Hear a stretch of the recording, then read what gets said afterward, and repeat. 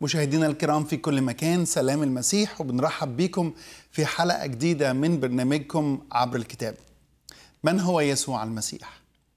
تحدثنا في الحلقتين السابقتين عن شخصية يسوع المسيح وكنا بنحاول نجاوب على السؤال هل فعلا يسوع المسيح أعلن عن نفسه أنه هو الله الظاهر في الجسد كلمنا عن لقب المسيح المسيح المسيح اتكلمنا أيضا عن المسيح ابن الإنسان. والنهاردة هنكمل معا عن المسيح ابن الله. المسيح ابن الله. بذكر حضراتكم بأن خطوط تليفوناتنا مفتوحة وبنرحب بكل مداخلاتكم وبكل أيضا استفساراتكم وتساؤلاتكم بخصوص هذا الموضوع المهم. المسيح ابن الله. زي ما اتكلمنا المرة اللي فاتت قلنا إنه هناك سوء فهم لاسم المسيح ابن الله. وقلنا إنه من أفضل التعريفات الأول إن إحنا نقول إنه ابن الله ليست وبعدين نتكلم عن التعريف الحقيقي لابن الله. فلما نيجي نتكلم عن المسيح ابن الله الرسول يوحنا قال لنا عبارة مهمة جدا. قال من اعترف أن يسوع هو ابن الله فالله يثبت فيه وهو في الله. بمعنى إنه الإيمان المسيحي مبني على الاعتراف بأن المسيح هو ابن الله. طبعا محدش يقدر يقول أن المسيح رب إلا بعمل الروح القدس في حياته. وعشان كده مهم قوي إن إحنا وإحنا بندرس هذا الموضوع إن إحنا فعلا نكون بنصلي إنه الرب يعلمنا ويفهمنا ويعطينا الإدراك الروحي والإدراك الذهني أن ندرك أن المسيح هو الله الظاهر في الجسد. المسيح ابن الله. ابن الله ليست بنوة جسدية، ده أول حاجة حابين إن إحنا نأكدها وبنأكدها مرارا وتكرارا أنه في الإيمان المسيحي لقب أو اسم ابن الله لا يعني أن هناك علاقة جسدية فالله ليس جسد. دي حقيقة مهمة جدا. الله في الإيمان المسيحي هو روح. زي ما قال الرب يسوع في يوحنا أربعة وعدد 24 الله روح. الله روح. والروح لا تركيب فيه ولا يتناسل.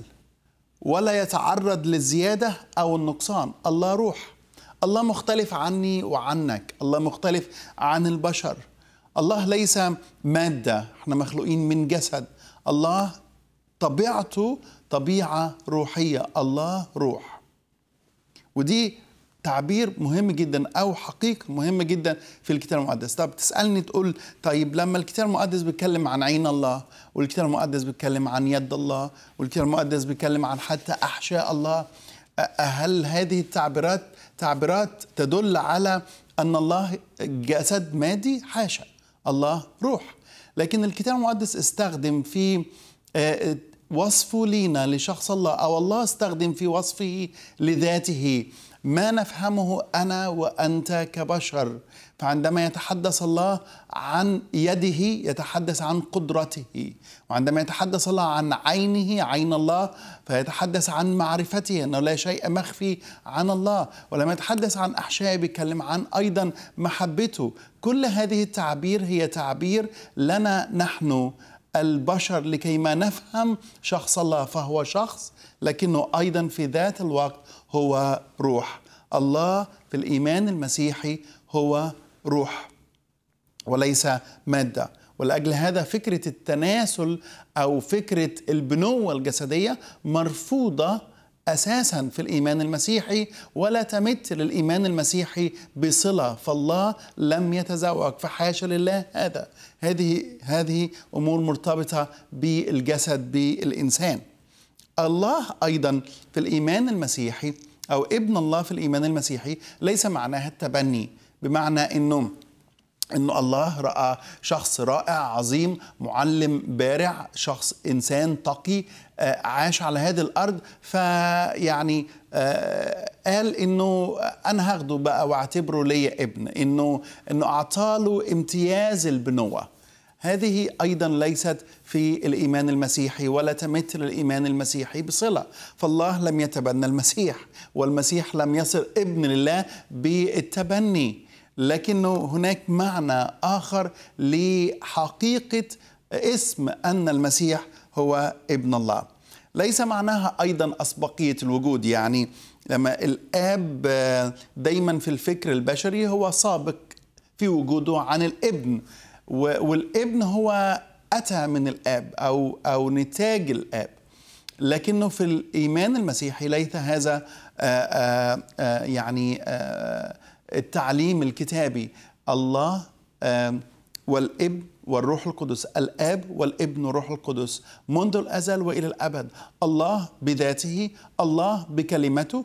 الله بروحه. موجود منذ الأزل وإلى الأبد. و...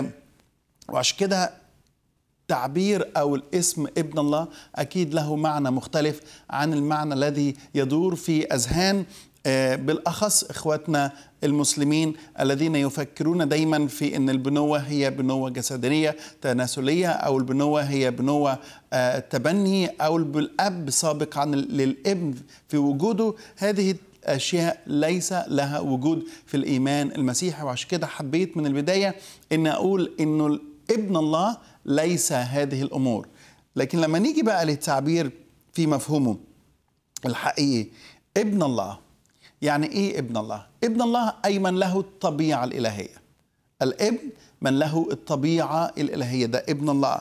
وعشان كده من رآني فقد رأى إيه؟ فقد رأى الآب. وعشان كده الرب يسوع يعني في كل حياته كان الإعلان الكامل الواضح عن عن شخص الله. والرسول بولس قال لأن فيه يحل كل ملء اللاهوت. ففي المسيح يسوع كل ملء اللاهوت. هو الله الظاهر في الجسد. يبقى ابن الله أي من له الطبيعة الإلهية. ابن الله أيضا نفس جوهر وطبيعة الله. The same essence of God. أو أنه نفس الطبيعة والجوهر الإلهي. لكنه كمان يحمل كل الصفات الإلهية. حياة الرب يسوع برهن لنا الرب يسوع أنه يحمل في ذاته كل الصفات الإلهية. فهو الله الظاهر في الجسد معادل ومساوي للآب. كل هذه التعبيرات أو التعريفات هي تعريفات لحقيقة أن المسيح هو ابن الله. اتنقل لنقطة مهمة أخرى وهي في كلامنا عن عن الابن. أن ابن الله معناها من يعلن من يعلن ذات الله أو الذات الإلهية. ابن الله هو الذي يعلن ذات الله. من الذي يستطيع أن يعلن ذات الله؟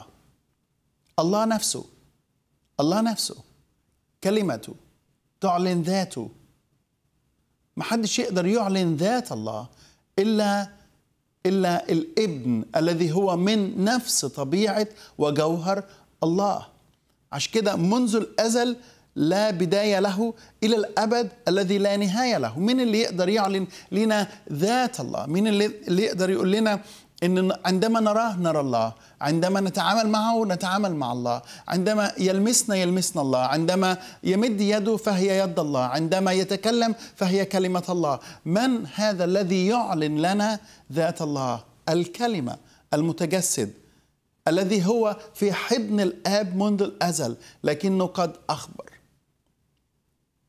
ابن الله هو الذي يعلن ذات الله. وعشان كده الرب يسوع قال من رآني فقد رأى الآب. أنا والآب واحد. أنا والآب واحد. أحبائي الله في العهد القديم مع أن الله كان بيعلن نفسه مرات ومرات ومرات من خلال إعلانات كثيرة ومباشرة إلا أن الله في العهد القديم أيضا لقب أو قيل عنه أنه محتجب. وده اللي قاله إشعياء عن الله. أنت محتجب يا الله. وعشان كده ما كانش حد ابدا يقدر إنه إنه يرى الله ويعيش. الله محتجب. الله بيعلن عن نفسه. لكنه الإنسان ما يقدرش إنه يرى الله في ذاته وفي جماله وفي إعلانه الكامل. وفي ده بالنسبة لليهود. مع بالرغم من كل الإعلانات اللي في العهد القديم إلا إن الله بالنسبة لليهود في العهد القديم كان محتجب. وما كانش حد يقدر يدخل إلى قدس الأقداس إلا رئيس الكهنة مرة في السنة فهناك حجاب. الله بالنسبة للأمم كان مجهول وده اللي قاله الرسول بولس للأمم في أثينا عندما ذهب إلى مدينة أثينا وكانت مليئة بالمعابد المختلفة وطبعا كل معبد مكرس ومخصص لعبادة الإله من الآلهة. لكن اليونانيين خوفا من أن يكون هناك إله لم يعرفوه. بعد كتبوا على إحدى المعابد للإله المجهول الإله المجهول. فالله بالنسبة للأمم مجهول والله بالنسبة لليهود محتجب. إزاي أنا أقدر أعرف الله؟ إذا كان الله محتجب لليهود في العهد القديم وإذا كان الله مجهول بالنسبة للأمم الله لابد أن يعلن نفسه ليا. عشان كده أتى المسيح يسوع. هو الله المعلن لنا في الجسد. هو الذي أعلن لنا ذات الله. عشان كده آه، كاتب العبرانيين يقول لنا الله بعدما كلم الآباء قديما بالأنبياء وبأنواع وطرق كثيرة كلمنا في هذه الأيام الأخيرة في ابنه في الابن. هو كمال إعلان الله للإنسان في شخص يسوع المسيح. له كل المجد. يسوع ابن الله. وحابين ان إحنا نشوف أكتر من نص في العهد الجديد بيتكلم آه، في الكتاب المقدس عن يسوع ابن الله. أول حاجة أتكلم عنها هو الحوار أو الكلام آه، والصلاة التي نجدها في متى 12 آه، الرب يسوع في كلامه مع الآب في متى 12 النص ده مهم جدا لأنه في حقائق كثيرة جدا نحتاج إن إحنا نقف أمامها ونرى إعلان يسوع نفسه وكلام يسوع نفسه عن شخصه عن طبيعته عن مين هو. علشان كده قلت مرات ومرات انه إنه المعجزات مهمة اللي عملها الرب يسوع. لكن هذه المعجزات هي برهان على صدق إعلان يسوع المسيح عن نفسه. يعني يعني كل الإعلانات اللي قالها يسوع المسيح عن نفسه هي أساس معرفتنا لمين هو. المعجزات أتت لكيما تؤكد لنا صدق كل ما قاله يسوع المسيح عن نفسه. شوفوا هنا الآيات الجميلة دي والكلام الجميل اللي قاله شخص الرب يسوع عن نفسه. يقول في ذلك الوقت أجاب يسوع وقال أحمدك أيها الآب رب السماء والأرض لأنك أخفيت هذه عن الحكماء والفهماء وأعلنتها للأطفال. نعم أيها الآب لأن هكذا صارت المسرة أمامك. كل شيء قد دفع إلي من أبي وليس أحد يعرف الإبن إلا الآب ولا أحد يعرف الآب إلا الإبن ومن أراد الإبن أن يعلن له. يبقى آه الجزء ده في في إيه؟ إنه لا أحد يعرف الإبن إلا الآب ولا أحد يعرف الآب إلا الإبن. هناك معرفة كاملة من ناحيتين. لا أحد يعرف الابن إلا الآب ولا أحد يعرف الآب إلا الابن. مش ممكن أحبائي حد يعرف عنك أكتر ما تعرف أنت ذاتك. مش ممكن. حتى يعني حتى أقرب الناس إليك دايما في حاجات فيك محدش يعرفها غيرك انت وحدك. لما يجي هنا بقى عن عن الله الاب والله الابن يقول إن ما حدش يعرف الابن معرفة كاملة إلا شخص الاب وما حدش يعرف الاب معرفة كاملة إلا شخص الابن ومن يريد أن يعرف ومن يريد أن يعرف الابن أو يعرف الآب لابد إن الابن يعلن له هذا. يعني إذا أنت عايز تعرف شخص الله إنك مش ممكن تعرف الله الحقيقي بعيدا عن الإعلان اللي موجود في شخص الابن. لأن هو الإعلان الكامل عن شخص الله. لو حبيت أحط بعض الحقائق المرتبطة بالجزء ده أقول الآتي. إن هناك معرفة متساوية ومن نفس النوع. يعني مهما وصل البشر في علاقتهم بالله. مش ممكن ابدا يعرفوا شخص الله معرفة كاملة. مش ممكن. يعني يعني حتى الأنبياء في علاقتهم بالله دايما معرفتهم لله متوقفة على ما يعلنه الله لهم. لكن هناك أمور في شخص الله لا يعرفوها. لكن هنا لما الرب يسوع بيتكلم عن الابن ومعرفته للآب والآب ومعرفته للابن هو بيتكلم عن معرفة متساوية equal. equal knowledge. معرفة متساوية. ومن نفس النوع.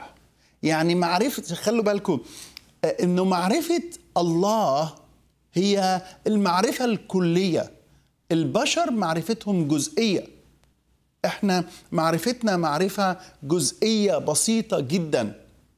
لكن معرفة الله هي معرفة كلية هو كلي المعرفة. لما الرب يسوع يقول إنه لا أحد يعرف الآب إلا الإبن ولا أحد يعرف الإبن إلا الآب هو بيتكلم إنه كما أن معرفة الآب معرفة كلية هكذا أيضا معرفة الإبن للآب هي معرفة كلية. يبقى هي معرفة متساوية لكنها أيضا معرفة من نفس النوع. ولا أحد يعرف الآب إلا شخص الآب جوهر الآب طبيعة الآب ذات الآب. فهنا الجزء ده مهم جدا لأنه في بيعلن لنا يسوع عن شخصه. مين هو؟ طبيعته. وبعدين يجي البعض يقول لك لا لا لا لا الكتاب المقدس ده ده المسيح ما قالش ولا عبارة قال فيها انه هو يعني هو الله الظاهر في الجسد.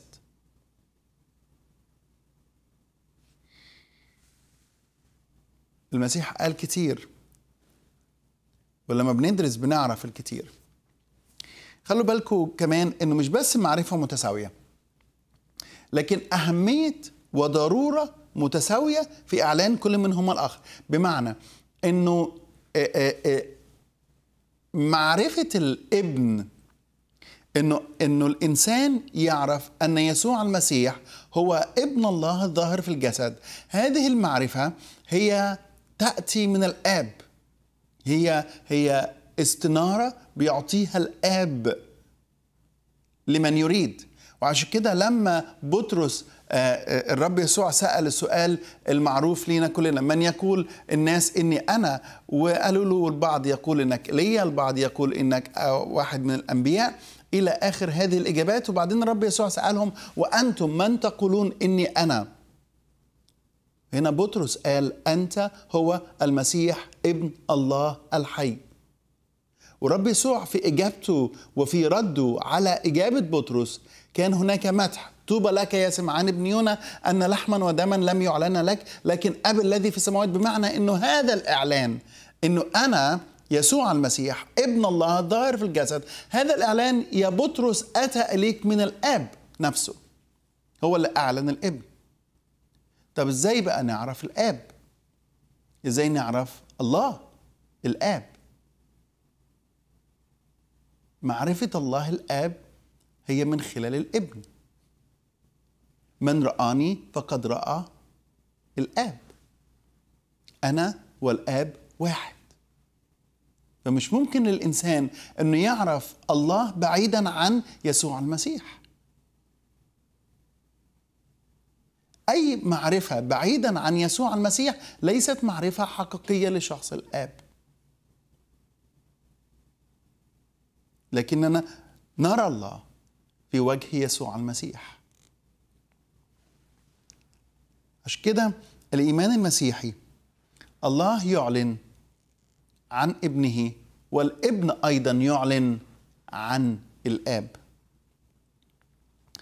يبقى حقيقة معرفة يسوع للآب وحقيقة معرفة الآب للابن هي أيضا أساس دعوة يسوع للمتعبين والتي نجد صداها في إشعياء 45 وعدد 22 يعني إيه الكلام ده؟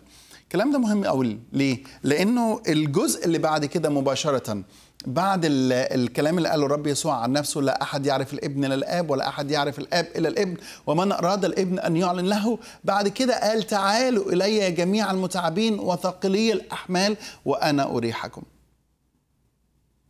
ودايما السؤال هو هو ليه العبارة دي جت في النص ده؟ ليه؟ الرب يسوع قال ده الكلام ده مباشره بعد الكلام اللي قاله إنه لا أحد يعرف الآب إلا الابن ولا أحد يعرف الابن إلا الآب.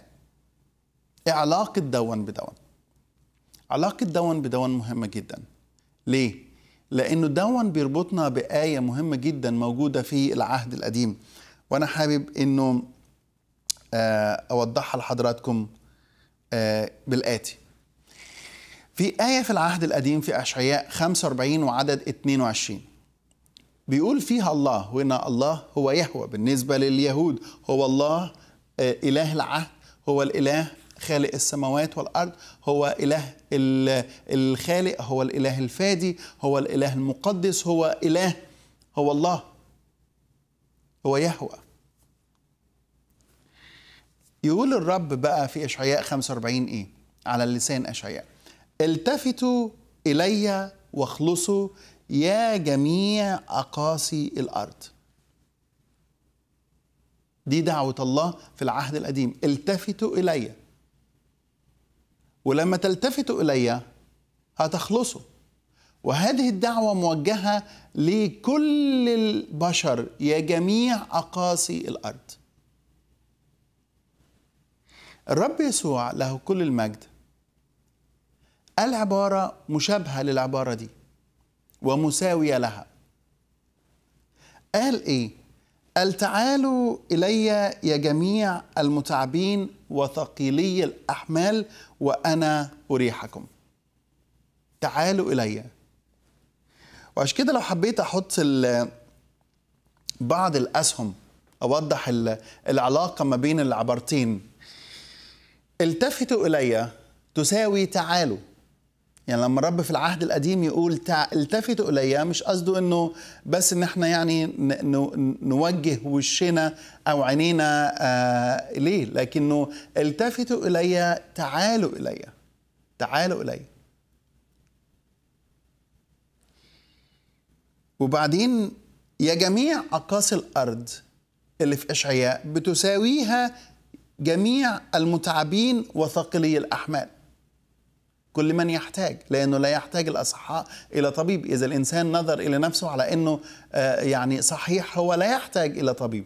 وإذا نظر إلى نفسه على أنه بار لا يحتاج إلى إلى إلى مخلص. عشان كده الرب يسوع أتى لكي ما يخلص ما قد هلك. إنه إنه جميع أقاصي الأرض الجميع زاغوا وفسدوا ليس من يعمل صلاحا ليس ولا واحد. والرب يسوع بيلقب هؤلاء جميع المتعبين وثقيلي الأحمال. والجزء الثالث واخلصوا. يبقى الإنسان الذي يأتي إلى الله كويس بحسب دعوة الرب في العهد القديم. يخلص. وهنا يقول الكتاب الرب يسوع وأنا أريحكم. الراحة لا تعني إنه إنه يعني مجرد إنه يعني هشيل بس الألم اللي عندكم لكن أنا هديكم خلاص. خلاص. ولا يوجد شيء يتعب الإنسان أكثر من الخطيه ولا يوجد شيء يتعب الإنسان أكثر من التفكير في نتائج الخطيه ولا يوجد شيء يؤرق الإنسان أكثر من التفكير في انه أجرة الخطيه موت. وإنه هالك بعيدا عن خلاص الله. عشان كده التفتوا إلي واخلصوا يا جميع أقاصي الأرض. تساوي تعالوا إلي يا جميع المتعبين وثقلي الأحمال وأنا أريحكم. طيب آه ناخد مداخلة. الأخ زيتوني. أيوه من تونس. أيوه أخ زيتوني. اتفضل بالله بالله آه، نسمع بعضنا دكتور عزمي ولا تقاطعني بالله طيب بس آه، أنا ليه طب ثواني طب بس اتكلم بالراحة علشان أقدر أتابع ال- الكلام اللي حضرتك بتقوله.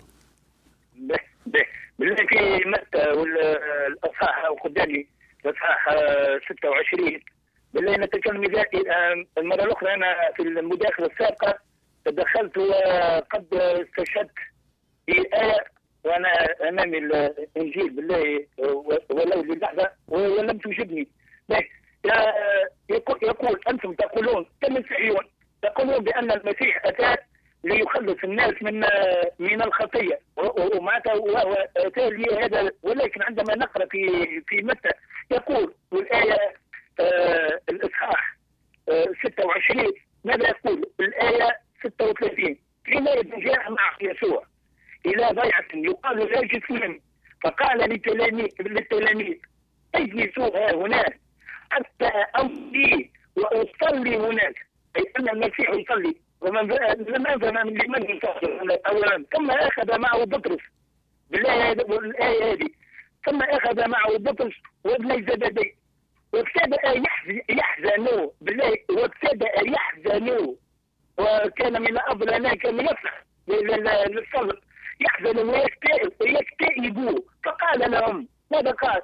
نفسي حزينة جدا حتى الموت. اركضوا ها هنا واسهروا معي. ثم تقدم به و- و- وفيما قبلها الآية اللي قبلها يقول حينئذ قال لهم يسوع كلكم تش- تشكون في هذه ماذا قال؟ فأجاب بطرس وقال له وإن شك فيك الجميع فأنا لا أشك أبدا هذا بطرس الذي رأى أنه الموتى وذهب فوق البحر أوكي. وما ماذا تؤمن به أنت أخ آه، آه، آه، دكتور عزمي فأجاب بطرس وإن شك فيك الجميع ولكن عندما نتقدم الآية آه، 69 أما بطرس كان جالسا خارجا في الدار هذا ال- الذي هذا من التلاميذ كويس. الدكتور عزمي أيوه. الدكتور عزمي ليس تلميذ آه. أما أنا أتكلم عن تلميذ ماذا أيوه. قال؟ أما بطرس كان جالسا خارجا في الدار اجتاز إليه جاريه قائلة أنت كنت مع يسوع الجلي- الجليلي إذا أنا كنت في وقت يسوع ورأيته آه، يحيي الموتى. لكنت قتلت على خاطر يسوع ولكن عندما نقرأ هذا هذا التلميذ ماذا قال؟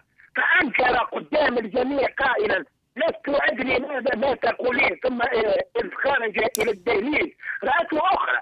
فقالت الذين هناك وهذا كان مع يسوع الناصري فأنكر أيضا بقسم بقسم إني لست أعرف الرجل.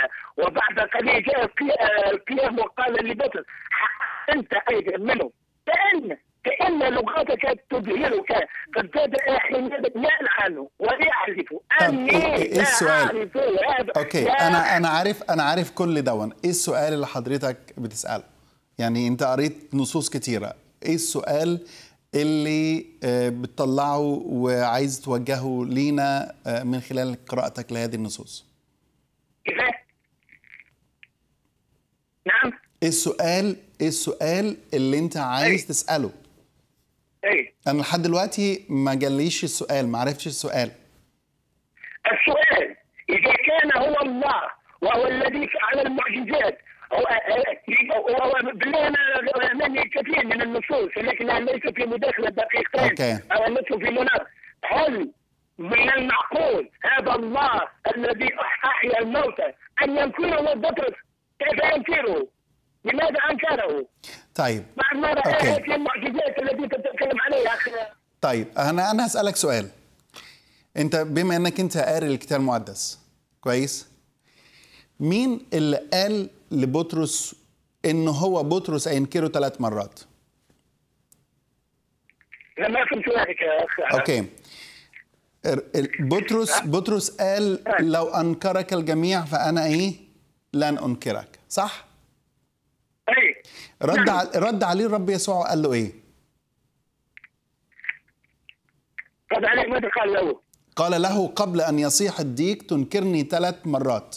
صح؟ أوحى الله إلى يسوع أوحى الله الله الذي أوحى إلى يسوع ب- اخذ القرآن القرآن الذي مجد يسوع. أنت؟ أنت عارف حضرتك أنت عارف حضرتك إن اللي أنت بتقوله دون بيثبت صدق الكتاب المقدس وليس آه، آه، تحريف الكتاب المقدس. لأنه لو لو لو بطرس لو بطرس عايز يحرف الكتاب المقدس كان بطرس قدم صورة حلوة لنفسه غير الصورة اللي اترسمت لينا في الاناجيل الأربعة. كويس؟ لكن لأنه الكتاب المقدس لأنه الكتاب المقدس صادق حتى في ضعفات البشر حتى في ضعفات التلاميذ. كويس؟ الكتاب المقدس ذكر لينا سقطات التلاميذ ذكر لينا ضعفات التلاميذ. آه ما هو شاف المسيح بيصنع معجزات واعلن أن المسيح هو ابن الله. لكن أمام وقت من الأوقات في حياته بطرس ضعف وأنكر المسيح. كويس؟ وده بيأكد لي إنه إنه الكتاب المقدس في ذكره لهذه الحقائق هو صدق لأنه لو كان التلاميذ حبوا انهم يحرفوا الكتاب المقدس كانوا شالوا كل حاجة تتهمهم وتوجه اليهم انهم خينه أو خونه أو انهم منكرين أو انهم انكروا الجميل أو انهم تخلوا عن المسيح أو انهم جبناء لكن الكتاب المقدس ما قالش ما عملش كده كتبوا كل حاجة عنهم بالظبط. كويس. فده حقيقي بالله دكتور عافي بالله سامحني هل تتكلم عن تعريف الكتاب المقدس؟ أنا بكلمك آه أنت أنت بتسالني عن إنه إزاي بطرس ينكر أن المسيح هو الله؟ أن المسيح هو الله؟ معقول هذا ينقذ هذا معقول. وإيه أنت. وإيه وإيه اللي مش معقول؟ إيه اللي مش معقول إنه الإنسان ينكر؟ ثواني. أنت انت إيه اللي مش معقول؟ إيه اللي- okay. إيه اللي مش معقول إنه إنسان كويس في وقت من الأوقات ضعف و و و و وأنكر المسيح؟ في تلك كويس. النقطة- okay. النقطة النقطة الأساسية في حياة بطرس إن بطرس أيضا تاب عن عن خطيته. تاب ولا ما تابش؟ كتر okay. وهربوا هربوا. ماشي. ماشي. okay. هربوا. هربوا لكن هذا لا يؤثر على حقيقة مين هو المسيح. ما يأثرش. قول لي هل هل هل المسيح هل المسيح في حياته؟ المرة اللي فاتت سألتك سؤال عن ابن الإنسان وحضرتك برضو ما جاوبتنيش. قلت لك مين هو ابن الإنسان اللي بيتكلم عنه يسوع المسيح؟ هل ابن الإنسان عنده سلطان إنه يشفي؟ ابن الإنسان عنده السلطان انه يقيم ابن الإنسان عنده السلطان انه يدين ابن الإنسان عنده السلطان انه يرسل ملائكته ابن الإنسان مين هو؟ ابن الإنسان. يعني يسوع بيتكلم عن نفسه على انه ابن الإنسان وبيعمل كل هذه الأشياء. فهل في بشر أو إنسان يقدر يقول الكلام ده عن نفسه دون أن نتهمه نحن اليوم سواء بالتجديف أو بإنه إنسان يعني آه، كذاب؟ إزاي يكون المسيح هو بيعلن كل هذا عن نفسه وفي نفس الوقت حق؟ يبقى أكيد المسيح أعظم من كونه إنسان. وهنا لما بتكلم عن المسيح ابن الله مين اللي يقدر يقول تعالوا إلي جميع المتعبين وثقلي الاحمال وأنا أريحكم؟ كل الأنبياء من أول آدم وحتى آخر الأنبياء كل واحد بيقول تعالوا إلي تعالوا إلى الله ارجعوا إلى الله ارجعوا إلى الرب توبوا عن خطاياكم. الرب بيقول كده. لكن المسيح يوم ما قال قال تعالوا إلي أنا. ما قالش الله روحوا لله الآب. قال تعالوا إلي أنا. مين انت علشان الناس تجي لك فترتاح. ليه ليه رسول الإسلام لم يقدم دعوة ولو حتى قريبة من هذه الدعوات؟ بالله بالله يا أخي، أي أنا أنا. سامع سامع حضرتك. بالله هو يسوع بالله إحنا كمسلم أنا يسوع نحن عنده آه، عند المسلمين هو نبي عظيم. عندما يدعو الله يستجيب له عندما يقول يا الله اشفي فلان اشفيه لأن دعوات الأنبياء كلها مستجابة. طيب هسال هسأل هسأل حضرتك سؤال هسأل حضرتك سؤال. إحنا إحنا مش بنألف مين هو المسيح. إحنا بناخد الكلام اللي قاله المسيح عن نفسه ونسأل أنفسنا سؤال. مين هذا الشخص؟ هو أعلن عن نفسه هذا الشكل. يعني يعني إحنا ما جيناش كده قعدنا قلنا إيه تعالوا نطلع قرار إنه نعمل المسيح ابن لله أو نعمل المسيح إله. ما حصلش وعمره ما حصل وتاريخ الكنيسة كله واضح إنه ما فيش حاجة حصلت زي كده. كويس؟ لكن إحنا عندنا النهارده كلام المسيح عن نفسه سواء في متى أو في مرقس أو في لوقا أو في يوحنا. كل كلام المسيح عن نفسه اللي قاله عن نفسه ده أعلن عن نفسه إنه بيغفر الخطايا. أعلن عن نفسه انه هو هيقيم الموتى بكلمة. أعلن عن نفسه انه هو الديان الذي سيأتي يدين الأحياء والأموات. أعلن عن نفسه انه هو معطي الحياة والأفضل حياة. أعلن عن نفسه انه هو من رآه فقد رأى الآب. أعلن عن نفسه أنه هو الله الذي ظهر في الجسد. أعلن عن نفسه كتير كتير من الإعلانات.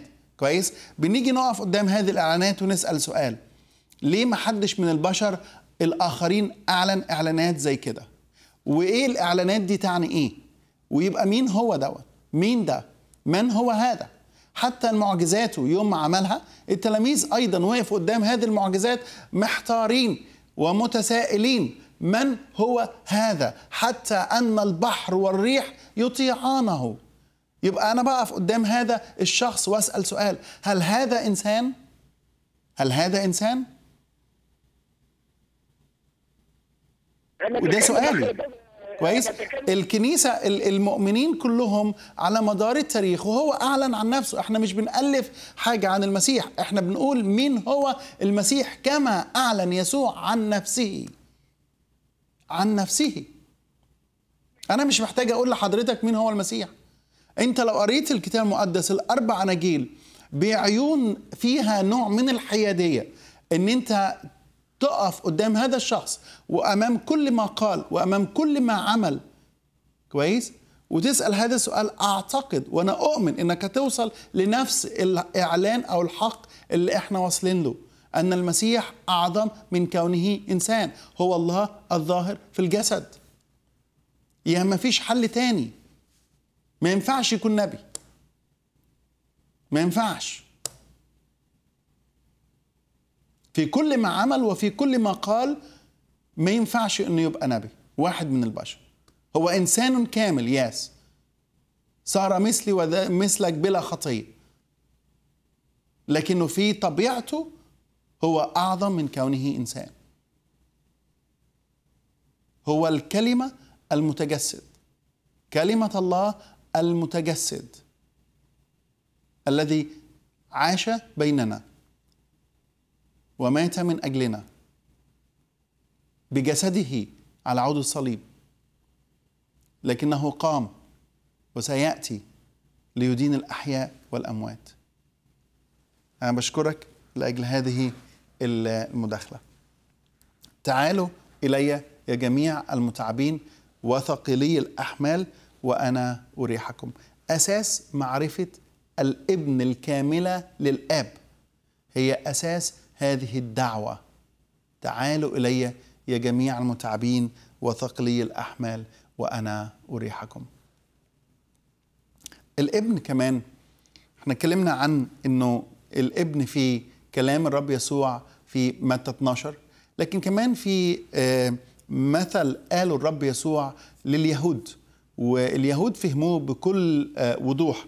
المثل ده بنسميه مثل الكرامين. معلش يمكن الخط في ال PowerPoint شوية صغير لأن أنا حبيت أحط كل النص الكتابي مع بعضه هنا في في slide واحد. كان إنسان رب بيت وأنا هقرأ لحضراتكم. كان إنسان رب بيت غرس كرما وأحاطه بسياج وحفر فيه معصرة وبنى برجا. وسلمه إلى كرامين وسافر. ولما قرب وقت الإثمار أرسل عبيده إلى الكرامين ليأخذ أثماره. فأخذ الكرامون عبيده وجلدوا بعضا وقتلوا بعضا ورجموا بعضا ثم أرسل أيضا عبيدا آخرين أكثر من الأولين ففعلوا بهم كذلك. فأخب فأخيرا أرسل إليهم ابنه قائلا يهبون ابني.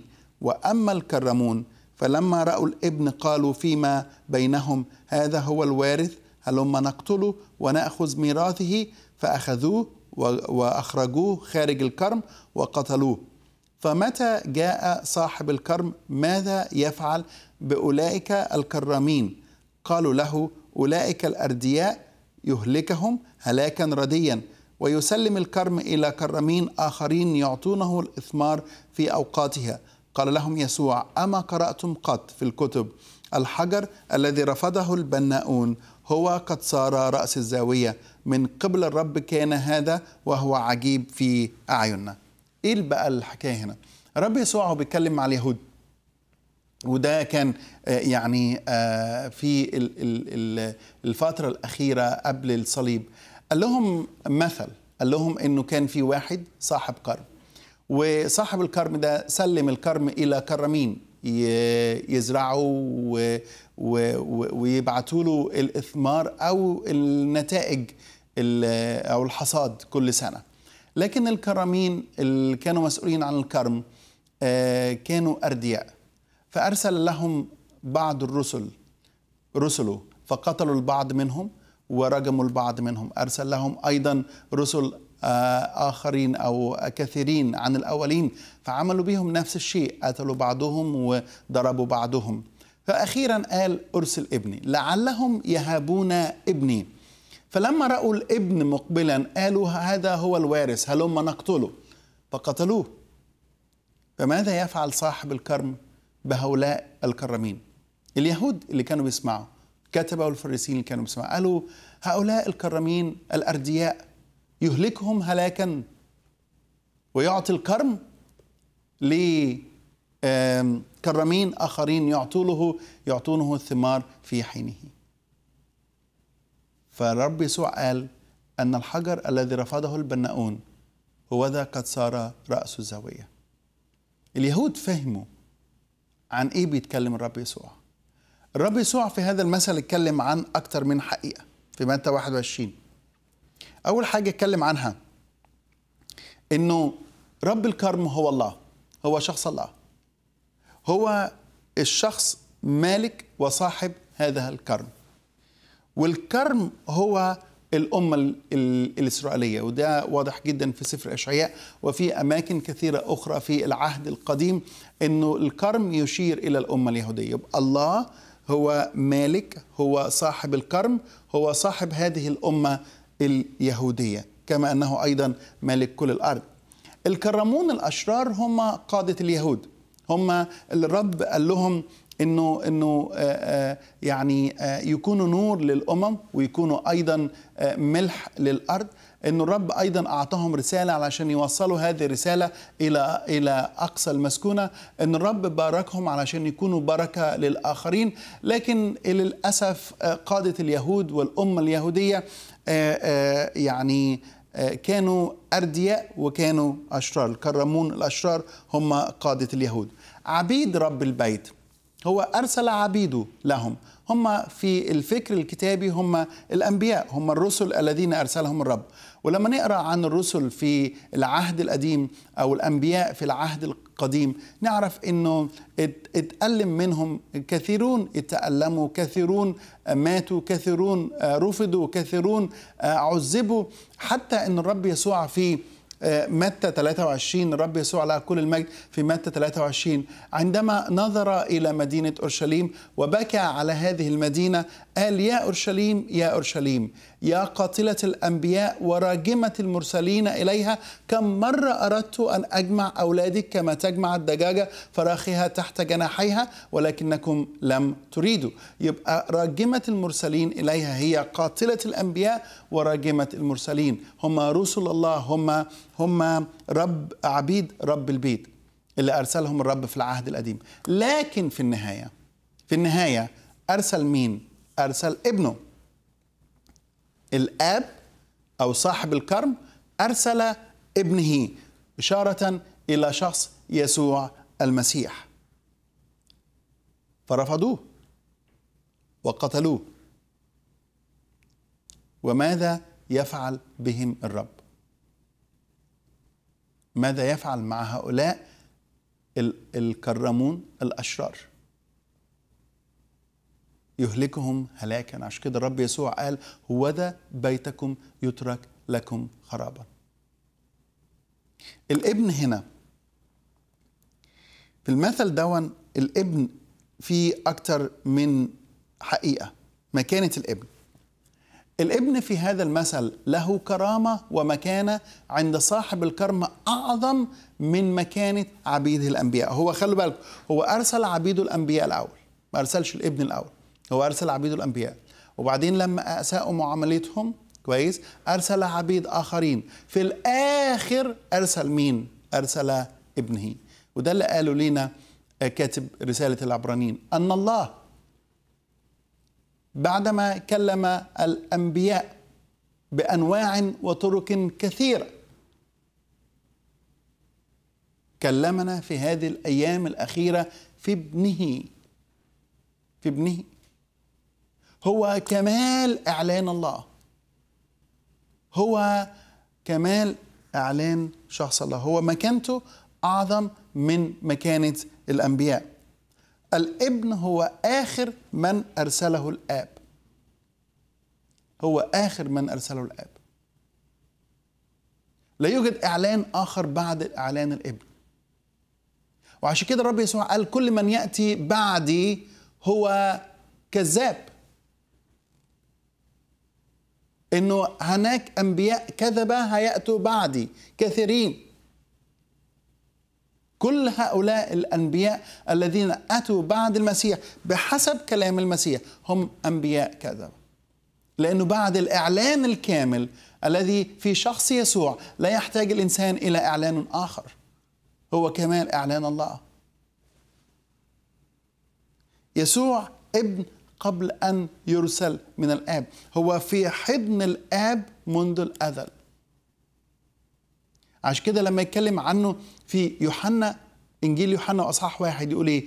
في البدء كان الكلمة والكلمة كان عند الله وكان الكلمة الله.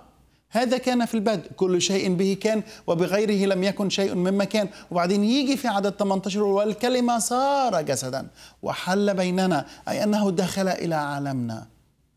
فهو ابن قبل أن يأتي إلى العالم. هو في حضن الآب منذ الأزل. لكنه أتى إلى عالمنا دخل إلى عالمنا. وجوده سابق لتجسده. وده اللي قاله الرب يسوع أيضا اليهود إنه أبوكم إبراهيم تهلل بأن يرى يومي فرأى وفرح. فقالوا له ما كملتش خمسين سنة وبتقول أبونا إبراهيم رآك فقال قبل أن يكون إبراهيم أنا كائن. الابن له مكانة كبيرة. الابن أيضا في كلام يسوع أو في تكليف يسوع ال Great Commission التكليف العظيم للرب يسوع لتلاميذه. في متى 28 بيقول وأما الإحدى عشر تلميذا فانطلقوا إلى الجليل إلى الجبل حيث أمرهم يسوع ولما رأوه سجدوا له ولكن بعضهم شكوا فتقدم يسوع وكلمهم قائلا دفع إلي كل سلطان في السماء وعلى الأرض فاذهبوا وتلمذوا جميع الأمم وعمدوهم باسم الآب والابن والروح القدس وعلموهم أن يحفظوا جميع ما أوصيتكم به وها أنا معكم كل الأيام وإلى انقضاء الدهر. جميل جدا إن إحنا نعرف إنه إنجيل يوحنا بيبدأ بالله معنا وبينتهي بالله معنا. بيبدأ بيقول لنا إنه إنه آآ آآ إنه إنه يدعى اسمه عمانوئيل الذي تفسيره الله معنا. العذراء تحبل وتلد ابنا وتدعو اسمه عمانوئيل الذي تفسيره الله معنا؟ ده بداية إنجيل متى؟ في واحد في إصحاح واحد وعدد 21 وبينتهي هنا بيقول لنا وها أنا معكم كل الأيام وإلى انقضاء الدهر. معكم أنا معكم برضو عمانوئيل. فهو عمانوئيل الذي معنا. وأنا بسأل الأخ زيتون وغيره من الذي يستطيع أن يقول وها أنا معكم كل الأيام وإلى انقضاء الدهر؟ من باق ومن هو حي إلى إلى انقضاء الدهر؟ إلا شخص الله وحده الرب يسوع هنا بيقول وها أنا معكم كل الأيام وإلى انقضاء الدهر. خلوا بالكم النقطة اللي عايز أتكلم عنها هنا وهي ال ال الكلام الرب يسوع وقال وعمدوهم. باسم إيه؟ عمدوهم باسم الآب والابن والروح القدس. عمدوهم باسم الله ذات الله وكلمة الله وروح الله. عمدوهم باسم الآب والابن والروح القدس.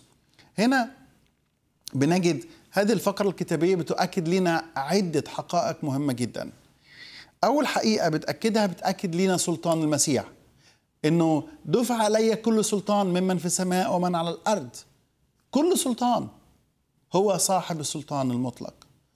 هو الذي بكلمة يقيم هو الذي بكلمة أيضا يحيي هو الذي بكلمة يشفي هو الذي بكلمة يسكت البحر والموج هو هو بكلمة.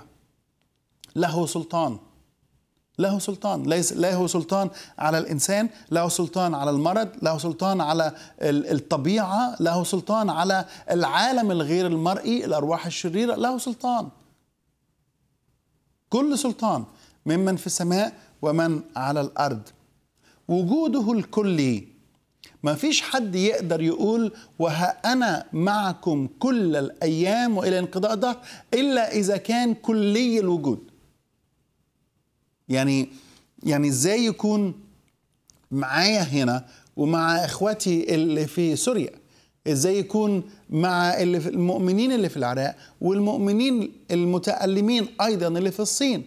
محدش يقدر يكون موجود في كل مكان إلا شخص الله. شوفوا احبائي في عدة صفات في شخص الله. إذا أعطاها لآخر صار هناك تعدد آلهة. بمعنى إيه؟ بمعنى لما بندرس صفات الله بنعرف إنه في صفات هي عند الله وحده مش عند البشر. ما يقدرش يديها للبشر. يعني الله موجود بذاته. أنا موجود لأن الله أوجدني وأنت موجود لأن الله أوجدك لكن الله موجود بذاته موجود بذاته. الله أيضا كلي الوجود موجود في كل مكان. الله كلي العلم كلي المعرفة كلي القدرة. هذه الصفات مش ممكن ابدا الله يعطيها لآخر إنه يشترك فيها أحد آخر لأنه إذا الله أعطاها لآخر صار الآخر الها. ومش ممكن. يبقى عندنا كده تعدد آلهة. لكن في صفات عند الله ممكن أشترك أنا وأنت فيها. يعني الله محب لكنه كامل في محبتي. لكنه أنا كأب أو كأم أو كأخ أو كزميل أنا أيضا كإنسان أعرف أحب أعرف معنى المحبة. عندي جزء منها. أقدر أشارك الله في هذا الجزء. أنا أنا إنسان ممكن أيضا أعيش حياة البر زي ما الله قدوس أقدر أعيش حياة القداسة بمعونة الله أقدر أيضا يكون عندي هذا الجزء. الله رحيم. أنا ممكن أيضا من خلال عمل الله في حياتي أصير إنسان رحيم إنه أرحم الآخرين حتى أشفق على الإنسان وعلى البهائم مش بس الإنسان. لكن ما أقدرش أكون كلي الوجود وما أقدرش أكون كلي المعرفة. وما أقدرش أكون موجود بذاتي وما أقدرش أكون كلي القدرة ما أقدرش لأنه الحاجات دي الله لا يعطيها لآخر. وعشان كده بنقول إنه كانت الحاجات دي في المسيح. فكيف لله أن يعطي للمسيح أخص خصوصياته؟ وهي صفاته التي تجعل منه الها عظيما. إن لم يكن المسيح في ذاته هو الله. وعشان كده وجوده الكلي واحدة من هذه الأشياء. المؤمنين في كل مكان بيصلوا للمسيح. في كل الأرض بيصلوا للمسيح. حتى في يعني العبارة اللي دايما على لسان المؤمنين يا يسوع. بيقولوها بالعربي بيقولوها بالإنجليزي بيقولوها بالإسباني بيقولوها بالإنجليش بالكوري بيقولوها بالتشاينيزي بيقولوها بكل اللغات لأنه كل الوجود هل هل المسلم يقدر يقول إنه محمد كل الوجود؟ ولا محمد عارفين قبره فين وموجود فين؟ وده سؤالي اللي بسأله لماذا يعبد البعض أو يتبع البعض؟ خلينا نحطها كده. لماذا يتبع البعض الذي فنى واندثر ومات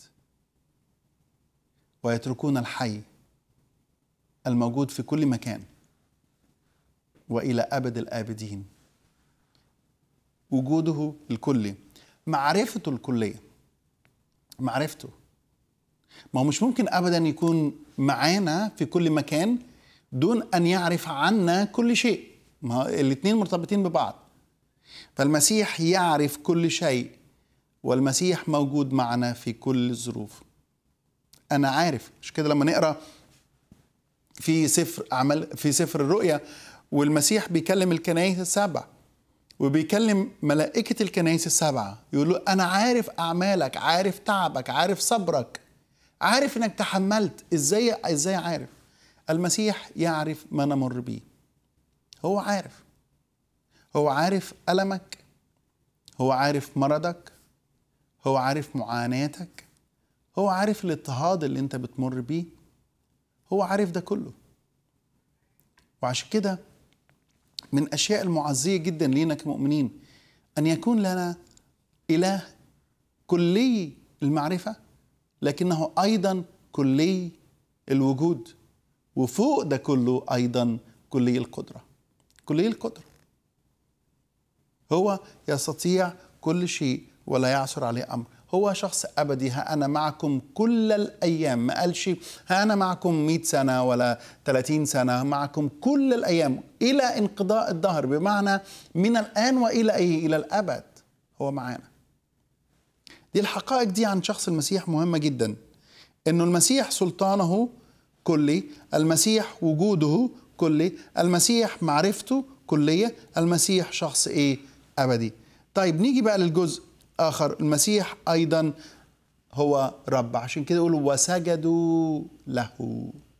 مش هنا سجود ال ال الإكرام لا ده سجود العبادة. وسجدوا وسجدوا له. اكمل في الجزء ده وعمدوهم باسم إيه؟ الآب والابن والروح القدس. لماذا لم يقل يسوع وعمدوهم بأسماء الآب والابن والروح القدس؟ أو لماذا لم يقل وعمدوهم باسم الآب وباسم الابن وباسم الروح القدس؟ لماذا لم يقل الرب يسوع هذه العبارتين دول؟ لكنه قال إيه؟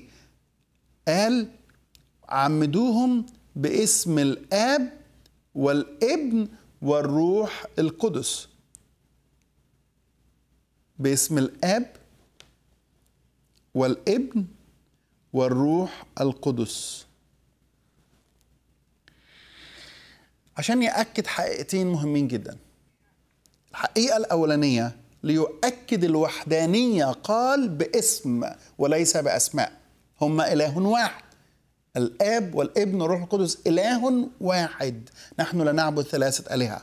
ليؤكد الوحدانية قال يسوع باسم الآب وليؤكد الاختلاف استخدم يسوع أداة التعريف لكل أقنوم من الأقانيم الثلاثة. لهذا قال باسم الآب والابن والروح القدس. إلى أن نلتقي في حلقة جديدة سلام المسيح يكون معكم.